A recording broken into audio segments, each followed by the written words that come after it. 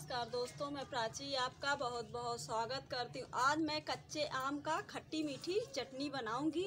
वो चटनी खाने में बहुत ही टेस्टी लगती है और बनाने में बहुत ही झटपट बन जाती फिर चलिए बनाना शुरू करते हैं। ये हम दो आम बड़े बड़े लिए हैं, गुड़ लिए हैं, इसको भी थोड़ा मैश करके रख लिए हैं। ये सौंफ लिए हैं करायल लिए हैं, नमक लिए हैं, गरम मसाला लाल मिर्च पाउडर, फ्रूट कलर। अब हम चलिए सबसे पहले आम को हम छील लेते हैं। ये देखिए कितने बड़े बड़े हैं आम। इसी, इसीलिए दो ही आम में हो जाएगा।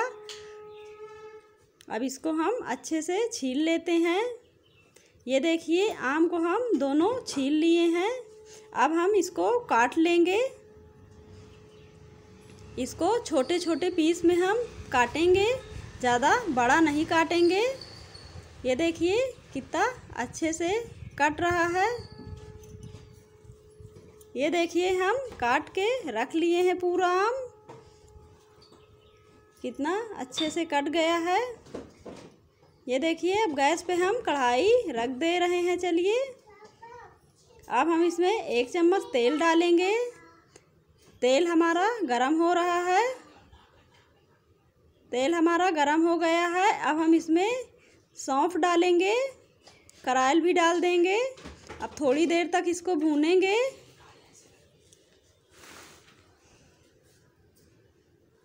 ये देखिए, अब हम भून लिए हैं। अब इसमें हम आम को डाल देंगे। आम भी डाल के हम भूनेंगे थोड़ी देर तक।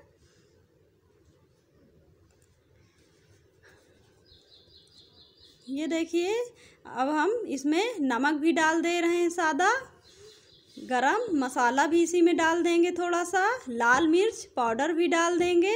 अब इसको भी अच्छे से मिला देंगे। ये देखिए कितने अच्छे से मिल गया है। अब हम इसमें गुड़ को भी डाल देंगे। ये देखिए, गुड़ को हम मैश करके रखे थे, इसीलिए अच्छे से मिल गया है। अब हम इसमें एक गिलास छोटा पानी डाल दे रहे हैं। अब इसको भी अच्छे से चला देंगे। अब इसमें हम फ्रूट कलर भी डाल देंगे। ये देखिए, कलर भी डाल दिए हैं। कलर डालने से चटनी का कलर बहुत अच्छा आ जाता है। ये देखिए, ऐसे ही हम पका लेते हैं कुछ देर तक। ये देखिए कलर कितना अच्छा आ गया है। हल्का चटनी हमारी पक गई है। अभी थोड़ी देर और पकेगा। ये देखिए चटनी हमारी बनके तैयार हो गई है।